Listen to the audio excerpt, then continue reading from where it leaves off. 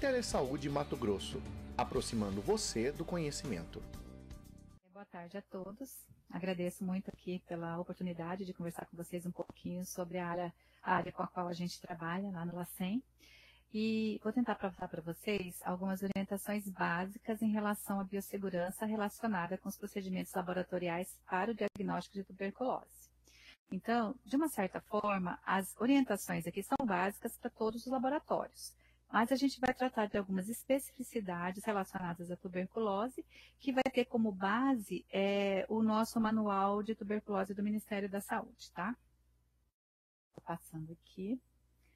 Bom, a nossa fonte é o Manual de Biossegurança para Laboratórios de Tuberculose de 2013, mas é, é, vocês também podem acessar outros manuais que estão disponíveis na rede, né, como o Manual de Biossegurança da Organização Mundial de Saúde, é, as diretrizes básicas para a contenção de trabalhos que, com amostras biológicas, aí vocês também têm o Manual de Vigilância né, da Tuberculose do Ministério da Saúde, o próprio, é, o próprio Manual de Vigilância, é, o Guia de Vigilância de 2017, que tem várias informações também sobre é, a tuberculose. É, eu trabalho no LACEN há aproximadamente uns 20 anos. Eu sou nutricionista e procedente da área de produtos do LACEN, que trabalha com vigilância sanitária e ambiental.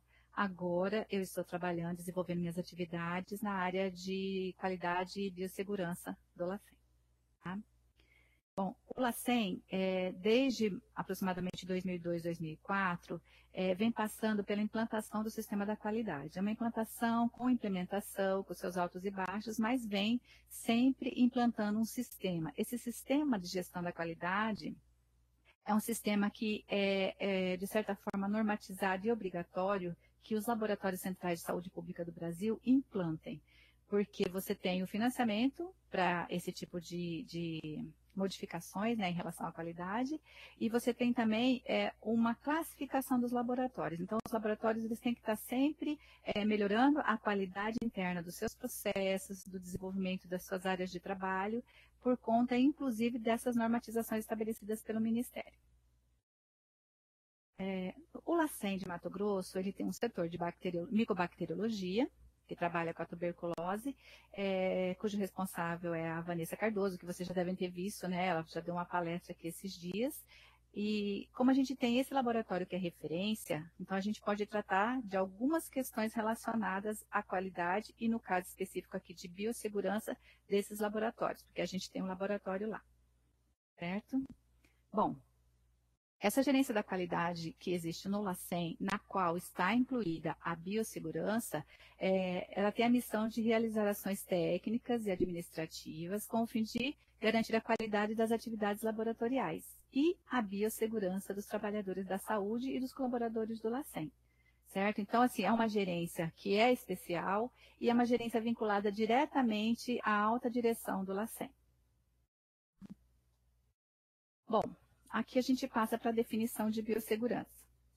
Biossegurança, então, conforme estabelecido, conforme a definição dessa portaria 3204 de 2010, uma portaria do Ministério é, da Saúde que estabelece é, a norma técnica para a biossegurança em laboratórios de saúde pública, biossegurança é a condição de segurança alcançada por um conjunto de ações destinadas a prevenir, a controlar, reduzir ou até, se possível, eliminar os fatores de risco inerentes às atividades que possam comprometer a saúde humana, a saúde animal, vegetal também e o meio ambiente, e também a qualidade do trabalho realizado. Né? Consiste, então, na aplicação de uma combinação de alguns itens, que são os controles administrativos, né, que são os procedimentos, as rotinas, os POPs, as normatizações, os princípios de contenção, ou seja, é, quais são os instrumentos, os equipamentos, as barreiras que eu utilizo para conter o risco ao qual a gente está exposto. As práticas e procedimentos, ou seja, aquelas práticas desenvolvidas pelos profissionais de saúde dentro do laboratório que realiza exame de TB, como são essas práticas e procedimentos? Equipamentos de segurança, os EPIs, né, que a gente conhece bem, os equipamentos de proteção individual, os equipamentos de proteção coletiva, que mais? a preparação para o surgimento de emergências, né, em caso de derramamentos, em caso de acidentes, e as instalações propriamente ditas. Tá? Bom, qual que é o objetivo disso? Então, a, a implantação de um sistema de qualidade que contemple biossegurança para os funcionários, para os colaboradores, para o ambiente, é, visa basicamente a segurança dos profissionais do laboratório, que trabalham com os micro-organismos potencialmente infecciosos, e nesse caso aqui a gente vai estar tá se referenciando basicamente ao Mycobacterium tuberculosis, né, que é o, o microorganismo com o qual os laboratórios é, trabalham, manipulam, os laboratórios da rede de saúde do Estado, né? E prevenir a exposição ou a liberação acidental a agentes patogênicos. Então, você vai se municiar de boas práticas de trabalho, você vai se municiar, municiar de equipamentos e outros procedimentos que visem a segurança tanto do profissional que trabalha, né, com é, a manipulação desse agente patogênico, quanto com o ambiente ao redor. Certo? Bom, é importante a gente lembrar que os trabalhadores devem sempre ter conhecimento dos riscos aos quais eles estão expostos.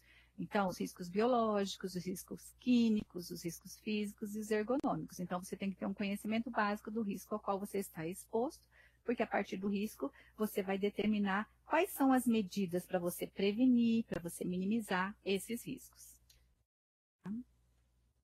Bom, qual que é o objetivo então dessa nossa conversa? Né, seria fornecer as orientações básicas e os critérios mínimos de biossegurança durante a realização de baciloscopias, de culturas, de testes de sensibilidade aos medicamentos e os testes moleculares de TB. Bom, a avaliação de risco é, no trabalho com essas amostras potencialmente infectadas com TB, é preciso considerar a carga é, bacteriana dos materiais, por exemplo, é difícil uma amostra, é difícil, desculpa, é diferente uma amostra é, formada, por exemplo, por expectoração, de uma amostra em que você tem uma cultura concentrada. Então, a carga bacteriana ali é diferente. A viabilidade dos bacilos, a mesma coisa em relação, por exemplo, a uma lâmina né, e uma cultura. A possibilidade de, de material manipulado ser propenso a gerar aerossóis durante a atividade que está a ser avaliada. É, um dos fundamentos é, dos cuidados e das boas práticas no trabalho com o, a amostra potencialmente contaminada com bacilo é a não formação de aerossóis. Então, é uma das práticas mais importantes é que o profissional ele tem esse cuidado de não deixar formar aerossóis com os cuidados mínimos que ele puder ter. Mas é importante que a aerosolização não seja é, é, formada durante o trabalho com, com as amostras. O volume de trabalho do laboratório. Isso também é um fator importante, porque é diferente um profissional que trabalha com duas, três, quatro amostras diárias um profissional que trabalha com 50 amostras diárias. Então, a exposição desse profissional é muito maior. A epidemiologia da doença, e nós sabemos que epidemiologicamente a tuberculose é endêmica no nosso estado, então a gente sabe que se o caso, é, se a pessoa estiver dentro daquelas sintomatologias de um caso suspeito de TB, muito provavelmente a amostra poderá ser positiva e as condições de saúde do pessoal de laboratório. Então, é importante que o pessoal do laboratório faça ah, os seus exames eh, periódicos, que eles se mantenham com boa saúde, porque as pessoas imunocomprometidas, elas têm uma tendência a, eh, a sofrer, né? no caso, se contaminar com mais facilidade, por conta da aerosolização. E... Bom, o que é muito importante, então, se eu definir que eu tenho um risco, um nível de risco para trabalhar com a minha amostra, então eu tenho que ter um nível de contenção, ou seja, eu vou colocar barreiras para trabalhar com, aquele, com aquela amostra. E essas barreiras é um conjunto, é, elas são formadas por um conjunto de procedimentos, de equipamentos e de instalações que são utilizados para o manejo de agentes de risco objetivando a redução ou a eliminação dos riscos à saúde humana, animal e vegetal, o meio ambiente e a qualidade do trabalho realizado. Então, aqui a gente vê uma pessoa com utilizando as, as contenções primárias e a secundária. No caso aqui, ela está, olha, utilizando os EPIs, certo? Máscara, é gorro, o jaleco, a luva, trabalhando dentro de uma cabine de segurança biológica.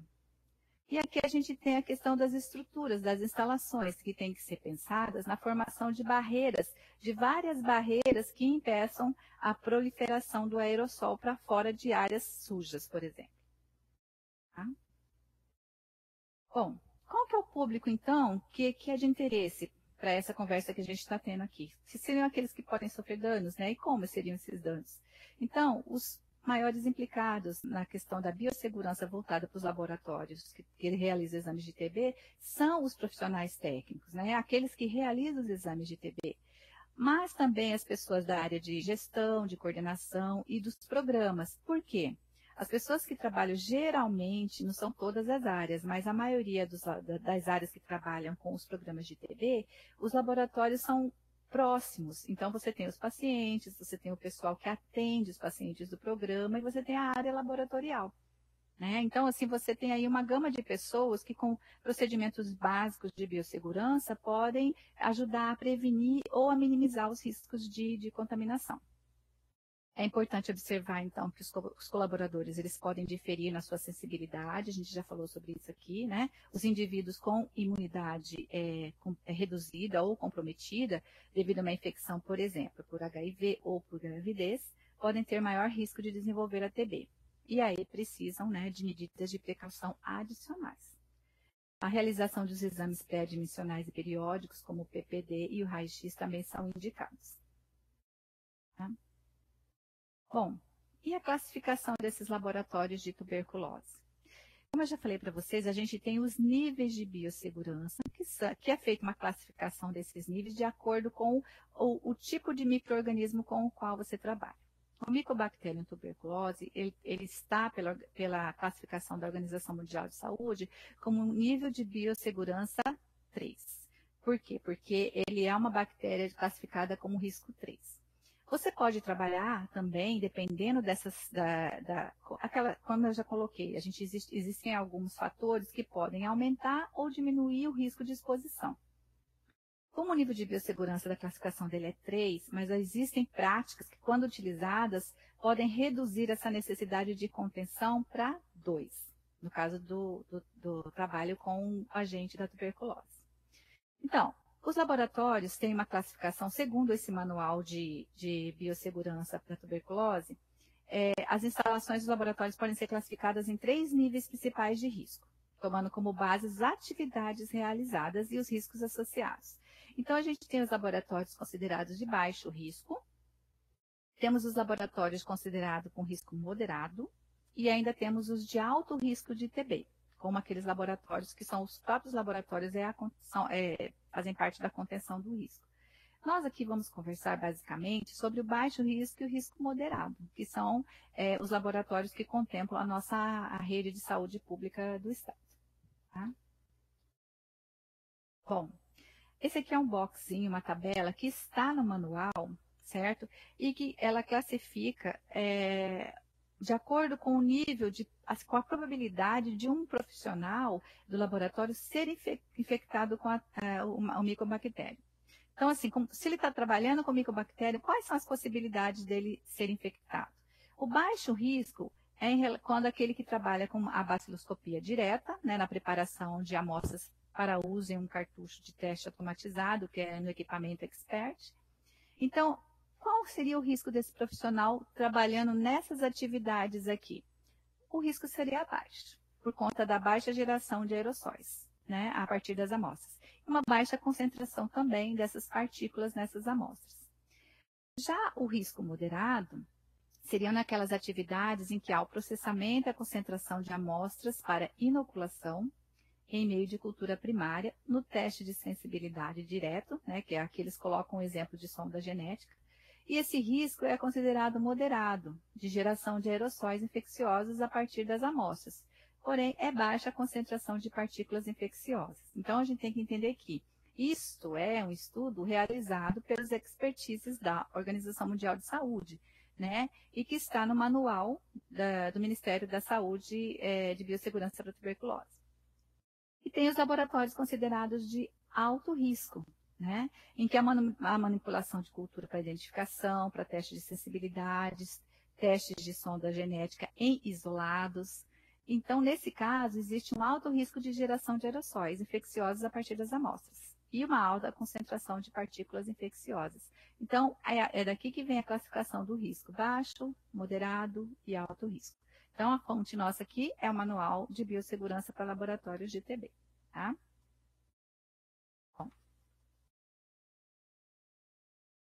Ok. Os laboratórios de baixo risco de TB, então. Vamos falar sobre eles, né? É, eu coloquei uma foto aqui. Todas essas fotos, gente, que, que, eu, que eu estou apresentando aqui, elas estão disponíveis no Google, tá? Então, eu, alguns eu estou colocando a fonte, mas elas estão disponíveis no Google. Então, a gente percebe aqui uma pessoa, um profissional, trabalhando num laboratório de baixo de baixo risco, que é ele está trabalhando na bancada, ele está paramentado, adequadamente paramentado, com a máscara, com o gorro, com o jaleco, com a luva, né? E trabalhando atrás de um bico de pulsem, que é muito importante. Né? Nesses laboratórios, é, que são os laboratórios que trabalham com a baciloscopia, é importante trabalhar com a amostra atrás do bico de Bulsen, né? Que é uma proteção a mais para quem está manipulando a amostra.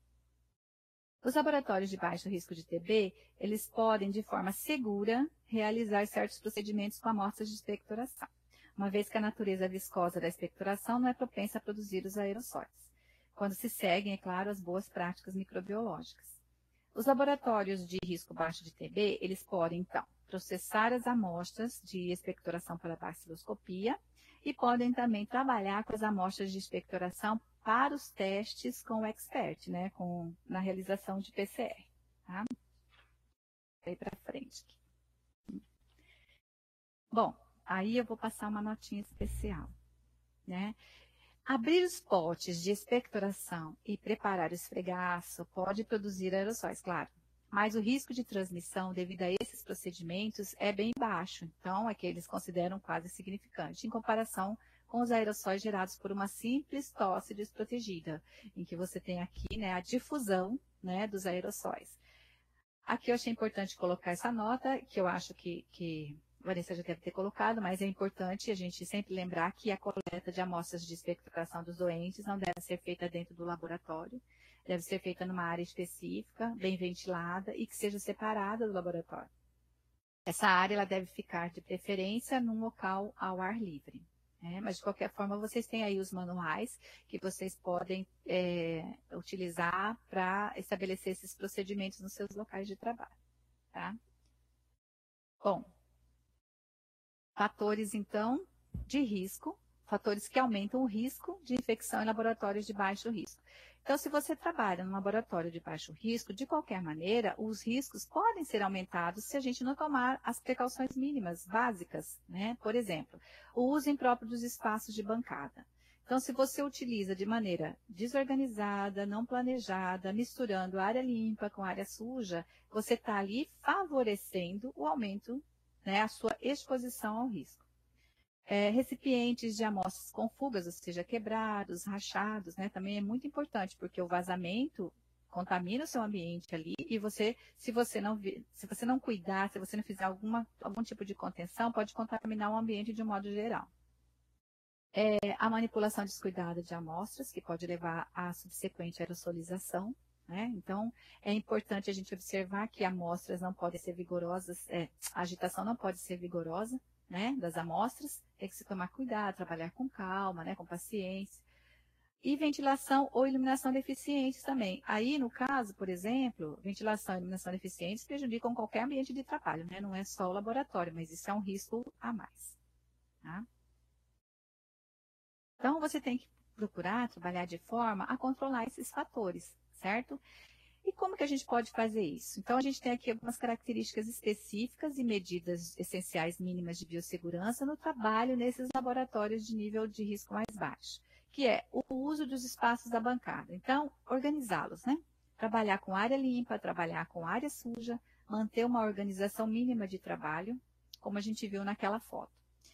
É, a ventilação adequada, ou seja, a ventilação ela tem que ser trabalhada natural ou artificialmente, de forma que é, o, o vento, a ventilação, ela venha de áreas limpas, passe pelo laboratório e saia. E saia de forma a não é, contaminar outros ambientes, é claro. Então, essa mudança, essa, essa troca de ventilação é muito importante dentro do laboratório.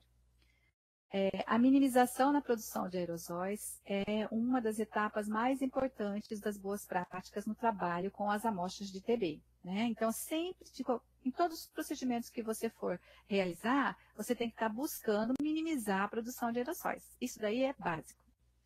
É, manuseio de recipientes de amostras que tenham fugas, né, que tenham quebras. Então, assim, tem amostras que, é, muitas amostras têm que ser jogadas fora, têm que ser descartadas, dependendo da, do nível, né, da quebra desse pote. Algumas podem ser é, é, utilizadas né, para fazer o exame, mas de qualquer maneira você tem que fazer a contenção e saber que ali você tem uma área de contaminação que tem que ser muito bem cuidada, descontaminada, né, para você trabalhar com aquilo com segurança e os equipamentos de proteção individual. Então, é, a paramentação é importantíssima. Vocês trabalham, todos os, os, profissionais de laboratório geralmente trabalham com um ou outro nível de biossegurança, só que todos têm que estar paramentados. Por quê? Porque é a nossa proteção mais básica, é a nossa primeira barreira para a gente evitar a contaminação com os patógenos com os quais a gente trabalha. Então, a gente valoriza o nosso trabalho quando a gente trabalha bem paramentado, né? Os, os, equipamentos de proteção individual, eles nos dão segurança, segurança no nosso trabalho, segurança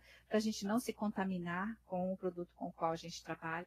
Então, você trabalhando paramentado, bem, é, você vai ter uma apresentação visual boa, e além disso, as pessoas vão verificar que você está cumprindo com as normas de biossegurança. Ou seja, você cumpre com as normas de biossegurança, você está fazendo um procedimento adequado, certo? E dá mais, até mais confiabilidade no trabalho que você realiza. Tá? Bom, em, devido à viscosidade da expectoração, a probabilidade de gerar um aerossol infeccioso ao manipular uma amostra é muito mais baixa do que a probabilidade de gerar aerossol infeccioso a partir de uma cultura líquida. Então, a gente entende que a viscosidade né, do, do escarro da, da, da, da amostra da expectoração, ela é, prende, né, na verdade, de certa maneira, o microorganismo ali. Diferente na cultura, na cultura mais líquida, né, em que é muito mais fácil de você manipular e de você produzir o, o aerossol. Tá?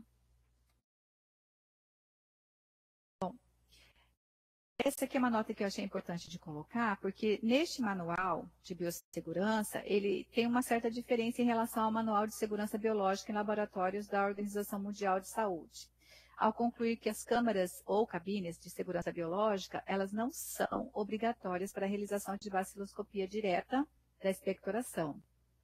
Isso é uma dúvida que surgia é, em alguns laboratórios por conta, da, inclusive, da fiscalização sanitária, né? Em que se exigia o uso de cabine para a realização de baciloscopias. Então, não há necessidade. A, utilizando as boas práticas de biossegurança, é, a paramentação, equipamentos e buscando utilizar as contenções e as barreiras necessárias, não há necessidade, nesse nível de laboratório, de utilizar as cabines. Né? O grupo de peritos da OMS considerou que com boas técnicas microbiológicas, as baciloscopias diretas da expectoração têm pouco, é, pouco risco de gerar aerossóis infecciosos. E dessa forma, tais procedimentos podem ser realizados em bancada aberta, desde que haja ventilação adequada. E lembrando que atrás do bico de Bunsen.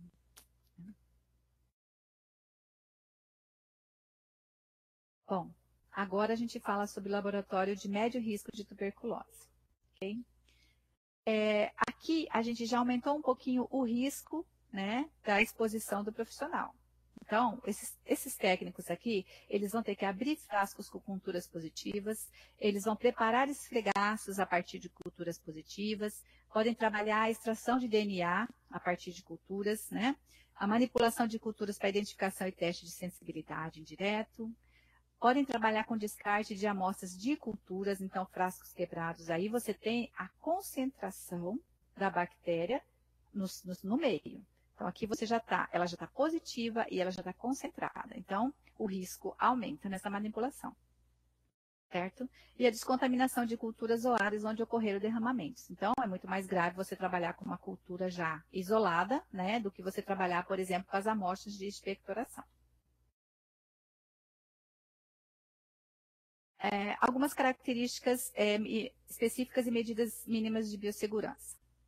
Câmaras de segurança biológica ou as cabines. Né? Então, a partir desse nível, já se é exigido o uso de cabine de segurança biológica. A ventilação também tem que ser ventilações adequadas, né? Então você tem, tem, que pensar na questão de instalação de ar, do fluxo de ar, da troca de ar diária, equipamento de proteção individual, utilização de todos os equipamentos necessários. Em alguns casos, você tem que utilizar o óculos, você tem que utilizar é, alguns outros equipamentos que sejam mais específicos para o trabalho com a cultura. O projeto do laboratório já tem que estabelecer algumas barreiras físicas para que é, não haja contaminação de ambientes. A descontaminação e descarte de resíduos sólidos é muito importante isso daqui é importante também na parte do laboratório de baixo risco, né? Só que a gente tem que entender que lá a gente trabalha com amostra de expectoração e aqui a gente está trabalhando com as culturas e com o material já isolado, né? E, como sempre, isso em qualquer nível, minimizar a produção dos aerossóis. Todos os laboratórios de TB, independentemente dos processos, procedimentos realizados, eles devem estabelecer um conjunto de medidas essenciais de biossegurança para minimizar os riscos. E aí incluem os códigos de boas práticas. que são esses códigos? Seriam os documentos que estabelecem oficialmente os procedimentos e condutas, que são os COPs, os regulamentos, as normas, os manuais. Então, os procedimentos eles têm que, têm que estar estabelecidos de alguma maneira na forma escrita. Um profissional ele tem que trabalhar da mesma maneira que outro, fazendo a mesma coisa. Então, a gente precisa que esses documentos eles estejam é, disponíveis e sejam é, produzidos dentro do serviço, porque existem normas, a gente, todas essas, essas orientações que a gente está passando aqui, elas são procedentes de normas técnicas internacionais e nacionais. Então, os, os profissionais que trabalham nessa área, eles têm que cumprir com essas normas.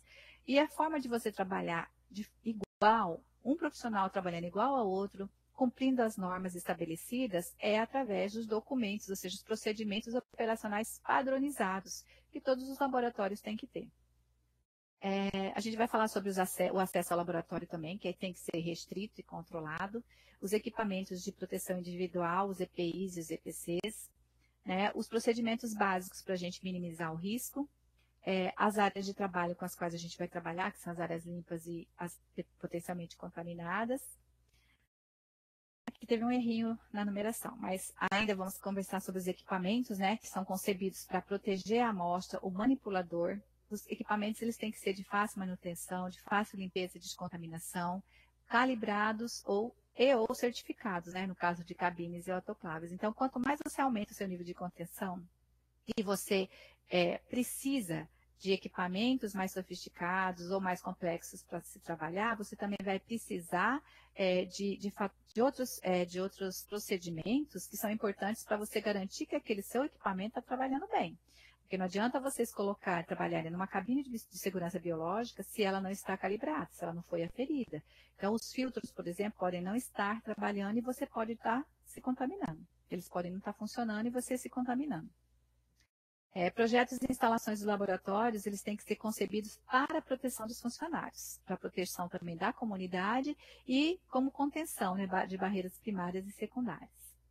A vigilância em saúde também é muito importante, porque o profissional ele tem que estar vacinado, ele tem que estar com os exames em dia, ele tem que estar com a boa saúde, ele tem que ter essa vigilância de modo que ele não esteja, por exemplo, imunocomprometido e trabalhe com esse tipo de amostra. A formação dos profissionais é muito importante, ou seja, as equipes têm que estar treinadas, atualizadas, né? Sempre lendo as orientações que o Ministério da Saúde atualiza e os procedimentos, eles têm que ser discutidos, eles têm que ser atualizados para que os profissionais trabalhem de forma igual. É, o tratamento de resíduos é muito importante, então vocês têm que ter estabelecido também um plano de gerenciamento de resíduos, ou minimamente uma segregação, a destinação correta dessas amostras, isso em todos os níveis de laboratório. E aí parte, por exemplo, é necessária incineração, é necessária autoclavação, você pode fazer desinfecção é, química, por exemplo, com fenol, com cloro, com álcool. Então, são informações que vocês têm que buscar para estabelecer nos seus procedimentos do laboratório. E os procedimentos de descarte, né? Por exemplo, como que você descarta é, lâmina quebrada, vidro quebrado, né? Como que você descarta material potencialmente infeccioso? Então, tudo isso tem que estar estabelecido no laboratório para que é, tudo encaminhe para evitar ao máximo a contaminação do profissional e do ambiente, da comunidade ao redor. Né? É, aqui a gente passa para algumas informações mais básicas em biossegurança. E aí eu gostaria de chamar a atenção para isso. Essas informações são básicas para qualquer laboratório. Então, assim, especificamente a gente está conversando sobre os laboratórios de TV, mas isso aqui se aplica a todos os laboratórios que trabalham com amostras biológicas. Né? Então, a gente precisa trabalhar bem os equipamentos de proteção individual, a gente tem que utilizá-los, a gente tem que se paramentar, porque isso é importante no seu trabalho diário. Você tem que ter, além da sua proteção além da sua proteção física ali, você protege a sua amostra, você protege também a comunidade que está ao redor. Então, quais são os equipamentos de proteção individual? A gente tem as luvas, a gente tem as máscaras, a gente tem os óculos, os sapatos fechados, as calças compridas, lembrando que esses também são equipamentos de proteção individual. Então, a gente não utiliza, por exemplo, a gente não trabalha com vestidos, a gente não trabalha com rasteirinhas, a gente não trabalha com sandálias abertas. Por quê? Porque você ali aumenta o seu risco. Os equipamentos de proteção coletiva, que são bar aquelas barreiras que a gente coloca entre nós e as amostras, né? E entre nós e o ambiente, certo? Então, também tem os chuveiros, a gente tem os extintores que nos protegem coletivamente. A gente tem as cabines. É, além disso, a gente tem que utilizar as boas práticas laboratoriais, que é um conjunto de ações que são realizadas dentro das normas estabelecidas, antes, durante e após o trabalho laboratorial e sobre as quais os trabalhos são planejados, são realizados, monitorados, registrados e relatados. Então, gente, as boas práticas laboratoriais, elas são indispensáveis para qualquer trabalho laboratorial não podem ser substituídas pelo equipamento. Não é o equipamento que vai lá trabalhar direitinho. Ótimo se ele trabalhar direitinho, mas ali atrás você tem que ter o quê? Uma pessoa que vai manuseá-lo, uma pessoa que vai é, manusear a amostra. Então, essa pessoa ela tem que implantar as boas práticas laboratoriais, com certeza.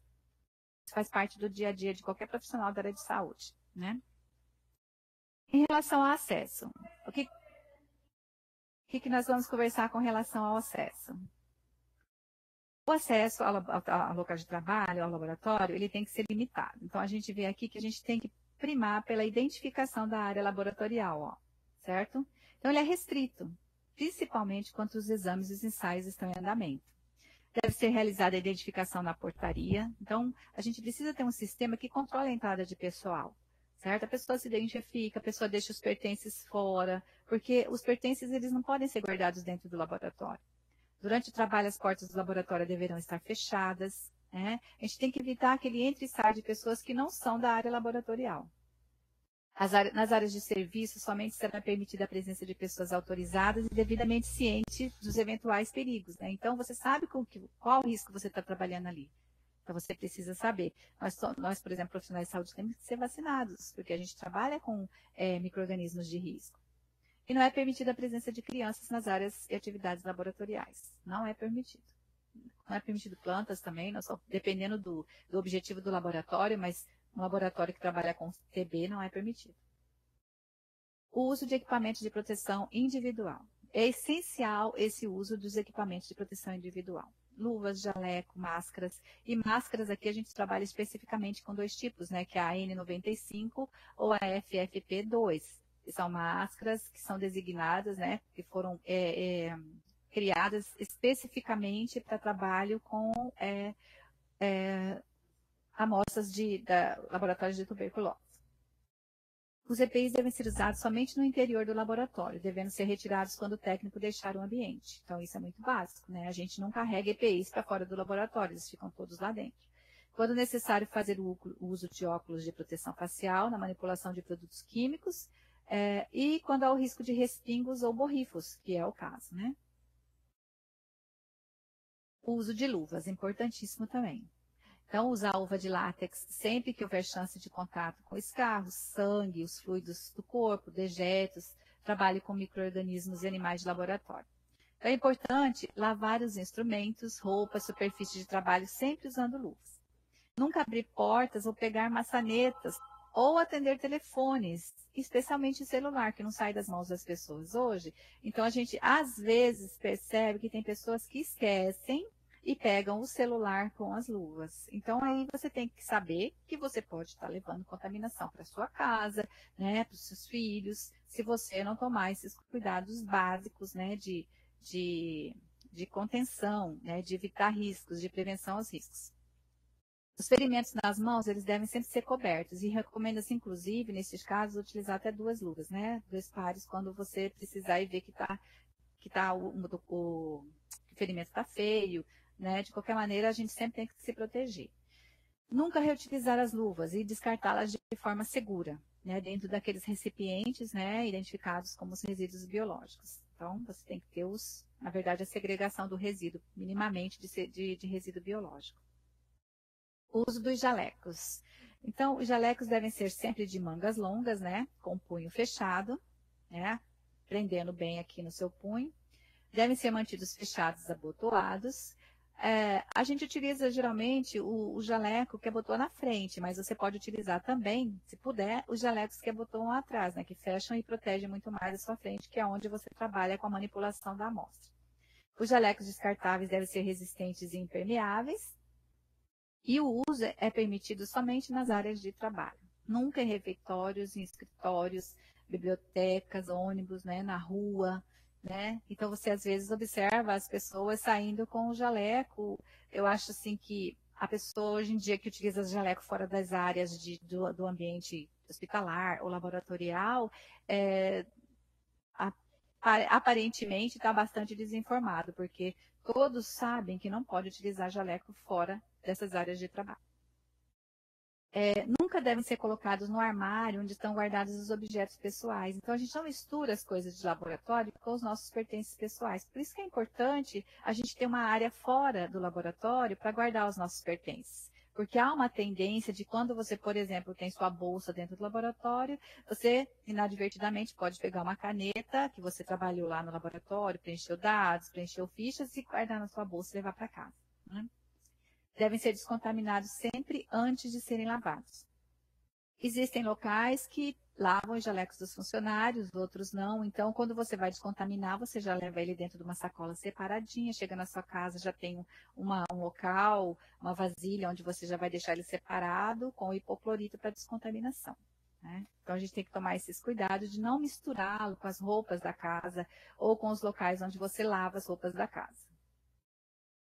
As práticas e procedimentos básicos também. Antes e após a manipulação do material biológico e ou antes de deixar o laboratório, os técnicos devem sempre lavar as mãos. Esse é um dos procedimentos mais básicos né, que os profissionais de saúde executam. Deve-se planejar o trabalho antes do seu início, providenciando todo o material necessário e deixando à disposição. Então, trabalhar em laboratório é trabalhar com organização. Então, a gente não pode começar alguma coisa e parar para buscar algum material que faltou. Começa novamente, para novamente. Então, isso prejudica muito o andamento do serviço. É, trabalhar de maneira ordenada, é, conhecer o material de trabalho, né, os POPs, né, os procedimentos com os quais você vai trabalhar. É importantíssimo você saber o que você está fazendo. Então, você tem que conhecer os materiais, materiais as normas, né, os, os, procedimentos operacionais que o, laboratório tem que desenvolver para fazer é, aquele procedimento igualzinho, certinho dentro das normas. Trabalhar de maneira ordenada e metódica, evitando interrupção. O profissional do laboratório é um profissional que ele trabalha muito quietamente, né? Então ele trabalha sozinho, ou às vezes ele trabalha com um colega, mas você percebe que o ambiente laboratorial ele é muito calmo. Então, ele precisa que as pessoas trabalhem dessa mesma forma, porque ali você está concentrado na realização de um procedimento, é, e se você não tiver é, é, muito concentrado naquela atividade, se você, você pode se desligar e acontecer algum tipo de problema, ou até um acidente, ou você derrubar um tubo, né, ou você derrubar uma amostra. Então, a gente tem que ter muita calma e trabalhar com muita paciência mesmo. É um ambiente calmo, o laboratório. É, Deve-se primar pela observância das práticas e técnicas padronizadas quando do manuseio de material biológico, não improvisar. Isso é muito importante. Então, é o que eu já falei várias vezes, a gente segue né, os requisitos para se fazer uma análise ou um exame. Aquele requisito você tem que seguir corretamente. Então, você não vai improvisar. Não vai pegar e fazer de uma outra forma para ver se dá certo. Toda, todo tipo de técnica que você crie, você tem que validar para você poder utilizar. Se não, você tem que utilizar a técnica estabelecida. E respeitar as advertências dos rótulos e dos livros que existem sobre os perigos e riscos. Então, fazer a leitura do que você for utilizar, né? E se você for utilizar alguma coisa diferente, precisa ler um rótulo, sempre observar tempo, temperatura, informações, etc. As superfícies de trabalho elas devem ser descontaminadas pelo menos duas vezes por dia, no seu horário de trabalho. Então, é antes e após o trabalho diário. Ou ainda quando há ocorrência de respingos de qualquer material. Que aí já você tem que trabalhar as medidas de contenção e de descontaminação que tem que estar estabelecida em algum procedimento aí no seu laboratório. Seguir os procedimentos específicos para limpeza e desinfecção de equipamentos, em especial as cabines de segurança biológica. Né? Então, você tem que ter ali os procedimentos de limpeza corretos, estabelecidos também normatizados, e segui-los. O local de serviço deve ser mantido sempre limpo e livre de todo e qualquer material não relacionado às atividades nele executadas. Então, é uma área que tem que ser organizada. Né? Então, a gente não deixa caixas, a gente não deixa pacotes, a gente não deixa é, livros. A gente tem sempre que ter uma área bastante organizada com o mínimo necessário para a execução do trabalho. Todos os procedimentos devem ser conduzidos com o cuidado de evitar a formação de espirros, né, de borrifos ou de aerossóis. Isso também é bastante básico. Até por isso que o trabalho no laboratório ele tem que ser feito de maneira calma. É expressamente proibido pipetar com a boca, né, comer, beber, fumar e fazer aplicação de cosméticos. O uso de joias e adereços também deve ser evitados e armazenar alimentos para consumo dentro da área laboratorial. Coletar amostras de pacientes na área de trabalho também. A gente tem que ter as áreas separadas. Então, essas aqui são, são é, orientações muito básicas, né? Esse tipo de comportamento não pode ter dentro de um laboratório. Para fins de pipetagem, a gente precisaria usar os dispositivos mecânicos. Então, a gente tem os pipetadores automáticos e quem não tem as condições de, de adquirir um pipetador automático pode adquirir uma pera que é mais barata e tem a mesma forma de funcionar. Né? Então, aqui a gente tem mais uma sinalização, que é a sinalização de não fumar, de não comer dentro do laboratório. Ainda não se deve utilizar calçados abertos, então a gente tem que utilizar calçados fechados sempre. E é obrigatório o uso de calça comprida, porque a calça comprida ela também é um equipamento de proteção. Não é permitida a presença de animais ou plantas que não estejam relacionados com a atividade do laboratório. Então, no caso do laboratório de TB, por exemplo, não há qualquer tipo de relação, então não pode ter nem animais nem plantas dentro do laboratório. É, é importante que a gente tenha uma pia que seja lavatória e uma pia que seja de procedimento. Então, a gente tem que ter essas duas pias, porque uma coisa é só para manipulação das amostras, para lavagem ali de vidrarias ou de instrumentos, e a outra para lavagem de mão do, do, do, no caso do profissional. Então, evitar usar a pia de laboratório como lavatório. Manter sempre as unhas cortadas, os cabelos presos, né? A gente não trabalha com cabelo solto assim, né? Não dá. Então, você tem que prender o cabelo, né? Porque você prende ou você utiliza a touca. Não lamber as etiquetas ou colocar objetos na boca. Então, às vezes, você presencia uma ou outra pessoa colocando caneta na boca, né? E isso daí é um meio fácil de contaminação. Não levar objetos de uso contínuo no laboratório para casa, especialmente canetas, que a gente tem um hábito muito grande assim de levar. Se está com a caneta aqui e por acaso a bolsa estiver perto, já sem querer coloca a caneta dentro da bolsa, né? Outros tipos de materiais que possam estar dentro do, do ambiente laboratorial. Então, a gente também não leva. Então, o que é do laboratório fica no laboratório, né? E a gente deixa lá, identifica para utilizar lá. Bom, em relação à gestão de resíduos de serviços de saúde, a gente tem uma publicação muito recente agora, que é a RDC 222, que foi agora do dia 29 de março, que regulamenta as práticas né, da gestão dos resíduos de serviços de saúde. É interessante que os profissionais leiam, porque a gente precisa trabalhar a segregação de resíduo, porque a geração de resíduo é de responsabilidade do gerador. É? Então, é importante que você tenha a segregação desses materiais, que são é, essas amostras né, e os derivados das amostras que são é, produzidos nos laboratórios de, que trabalham com TB. Então, seria interessante que vocês pudessem dar uma lida nessa resolução é, os procedimentos em caso de ocorrência de emergências e acidentes. Então, é muito importante que esteja estabelecido dentro dos protocolos de trabalho das unidades de saúde o que fazer em caso da ocorrência de acidentes. Especificamente aqui no caso da ocorrência de acidentes com os materiais, né, com as amostras, né, procedentes de, de pacientes com TB. Então, você tem que ter um fluxo estabelecido ali. Quando acontece um acidente, faz o quê? Vai para onde? Que conduta toma? Toma medicação? Não toma medicação? Então, isso é importante que vocês tenham esse fluxo estabelecido e que seja feita a notificação dessa ocorrência de acidente. Né? Então, isso daí garante para o profissional o registro daquela ocorrência ao longo do, do seu tempo de trabalho e até nas questões previdenciárias futuras. É, e eu deixei aqui para vocês um videozinho que eu vi no Telelab. É muito interessante. Ele é simples, assim, mas é bem bacaninha da gente assistir. Que, que é um vídeo sobre biossegurança. Ele é bem básico, mas é bacana. Então, eu indicaria a vocês é, darem uma entradinha lá e assistir esse vídeo aqui sobre biossegurança, tá? Aqui eu estou colocando o contato do setor de micobacteriologia lá do LACEN, que é a Vanessa Soares Cardoso e a Doraceu de Terumi Takahara. São as duas profissionais que estão atuando lá. O nosso e-mail, né, gavelacem.mt.gov.br. O telefone do LACEN com o ramal específico lá da micobacteriologia, né, 3624-6095, ramal 213. E a, o nosso endereço na página da SES, para vocês acessarem lá o nosso manual de coleta, algumas notas técnicas e outras informações que vocês acharem pertinentes com relação, por exemplo, ao envio de, de, de amostras para o LACEN. No mais, aqui a gente tem também o nosso e-mail da Gerência da Qualidade e Biossegurança do LACEN, que é a GQB, onde eu, onde eu trabalho atualmente. Se vocês necessitarem de algumas outras orientações, ou mesmo assim de modelos de POPs e normas, a gente já tem todo esse arsenal, digamos assim, de material já construído no LACEN ao longo desses anos todos, então a gente pode colaborar com o pessoal, a gente pode distribuir cópias não controladas, sem problema nenhum, para quem tem interesse. É, no mais, assim, eu agradeço aqui é, o interesse das pessoas e agradeço também aos colegas aqui do Telesaúde, né, que nos deram essa oportunidade e, e agora estou aqui à disposição. Obrigada, viu?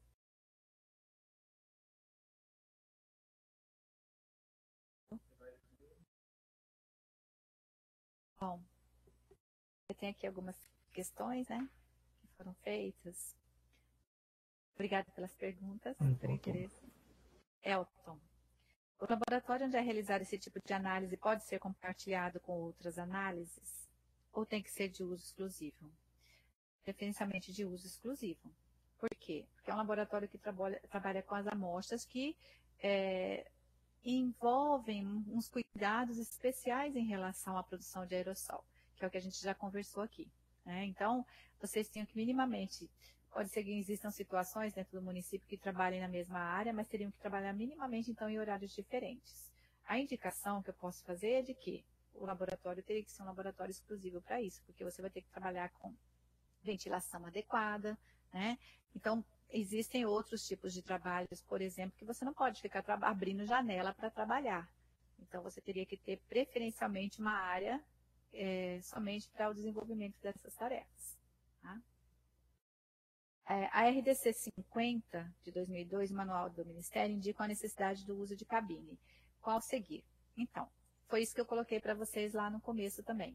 Né? É, esse manual de esse manual de biossegurança é, é, do Ministério, né? Mas ele é formulado a partir das concepções da Organização Mundial de Saúde. E ali ele estabelece, por conta, acho que dos estudos mesmo realizados pelos peritos da organização, de que o trabalho na baciloscopia não necessita de cabine. É, então, isso está estabelecido lá. Então, a gente pode seguir um manual que é, ele é específico para o trabalho é, para biossegurança em laboratórios que realizam esses procedimentos mais básicos né, de, de exames de tuberculose, como é o caso da baciloscopia. Tá?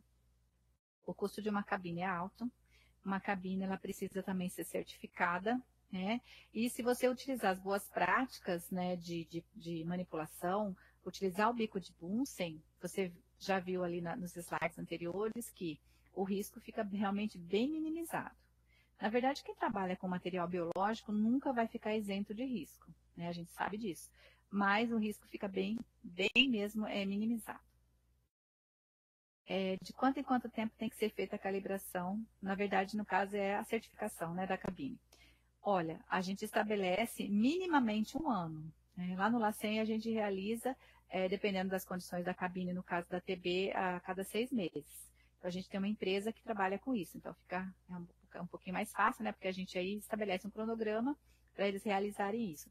E aí fazem a realização da troca do filtro EPA e mais a, a calibração dos, do, dos fluxos de, de vento, esse tipo de coisa lá dentro.